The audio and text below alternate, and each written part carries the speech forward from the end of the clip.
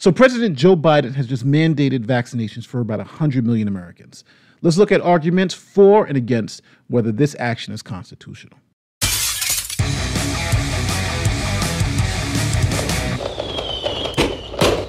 My name is Nate the Lawyer. If you are new here, we talk about the law and the facts. If you're about that life, don't forget to like this video, share this video, and subscribe to the channel. On September 9th, 2021, President Joe Biden ordered a new federal vaccine mandate that affects over 100 million Americans.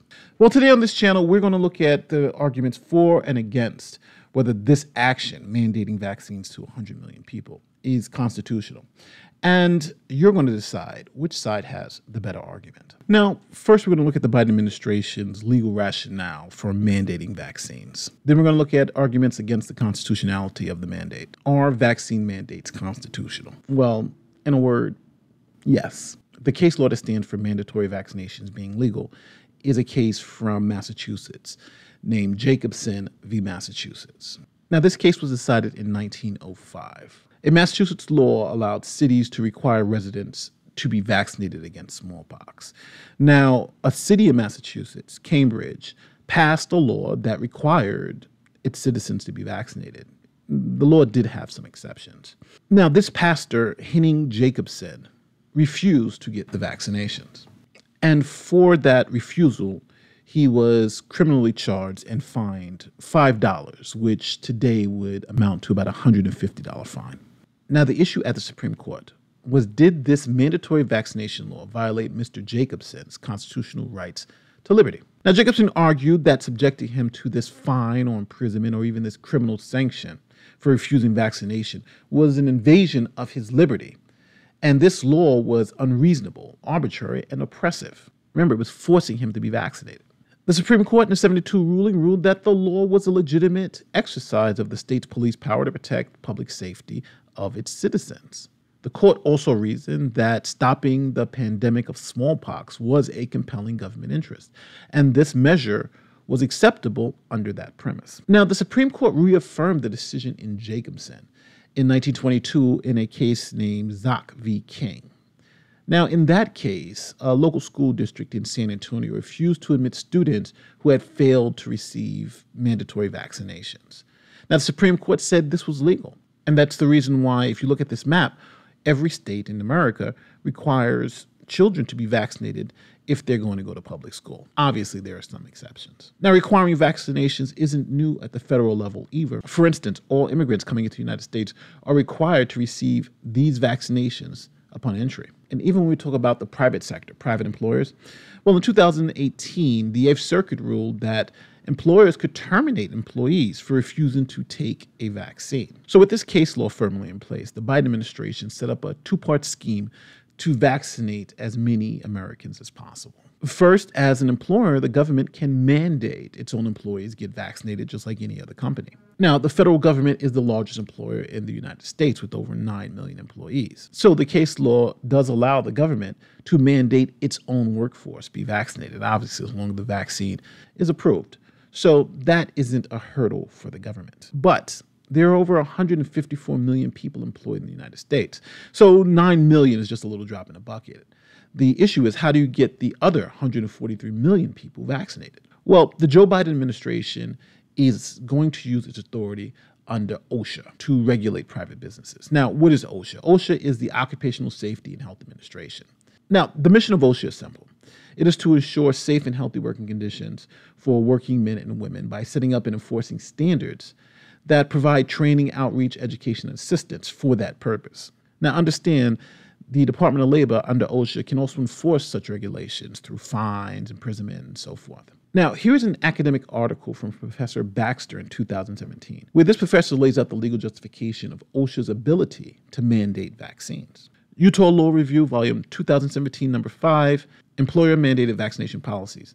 Different employers, new vaccines, hidden risks. In this article, she explains that the Occupational Safety and Health Administration, known as OSHA, imposes an obligation on employers to ensure that the workplace is, quote, free from recognized hazards that are caused or likely to cause death or serious physical harm to their employees. This provision is known as the General Duty Clause. And in some situations, it may impose a duty on employers to take steps including encouraging or mandating vaccination to prevent employees from contracting or spreading serious disease in the workplace. And OSHA has done this before, once for H1N1, the seasonal flu, and for Zika.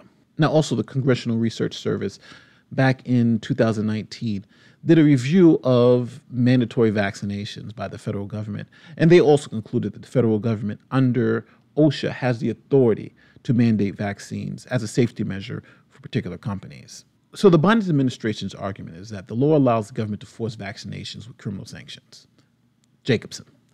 And that the federal government can mandate federal employees get vaccinated as a condition of their employment.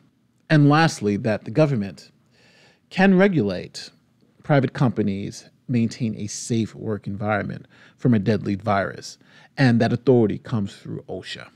Now, just to be clear, this is not controversial or even unprecedented. Most states force children to be vaccinated as a condition for going to school.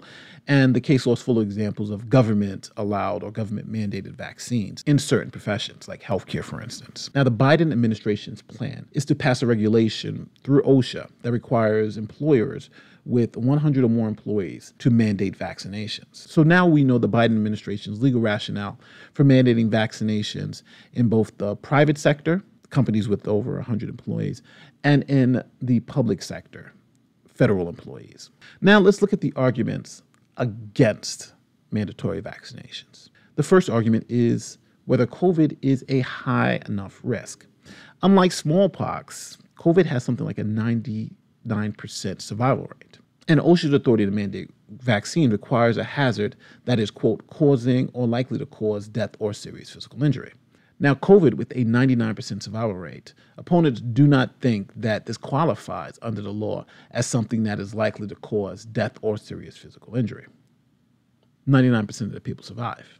The second argument against the constitutionality of this action is that the White House Chief of Staff retweeted MSNBC's reporter's tweet that says OSHA is doing a vax mandate as an emergency workplace safety rule is the ultimate workaround for the federal government to require vaccinations. And it was retweeted by Ronald Klain, who is the chief of staff of President Biden.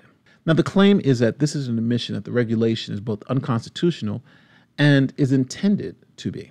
Esteemed constitutional law professor Jonathan Turley says In the law, it is called an admission against interest or an out of court statement by a party that, when uttered, is against the party's pecuniary, proprietary, or penal interest in politics is just called dumb. The White House Chief of Staff Ronald Klain offered a doozy this week when he admitted that the announced use of the authorization of the Occupational Safety and Health Administration, OSHA, for vaccine mandate was a mere workaround of the thing being worked around is the Constitution. Courts will now have to be asked to ignore the admission and uphold the self admitted evasion of constitutional protections. The third argument against the legality of mandating vaccinations is that the regulation is essentially overbroad. See, past regulations only apply to specific fields like healthcare. This one is overbroad because it applies to all workplaces and not specific workplaces like those who are at higher risk of infections. This distinguishes the mandatory vaccines for H1N1, where healthcare workers were mandated to get that vaccine, to now saying, well, we're going to mandate all companies get the vaccine. Now, the last argument against the constitutionality of the regulation is the Roe v. Wade argument. Essentially, my body, my choice. The argument goes like this Taking a vaccine is a privacy choice between you and your doctor, like a woman's right to choose. And by eliminating the ability to choose whether or not to have this medical procedure, the government is violating the core principle of Roe v. Wade my body, my choice. And in Roe versus Wade, the choice is to have that procedure. And with vaccinations, the choice is whether you don't want to have the procedure.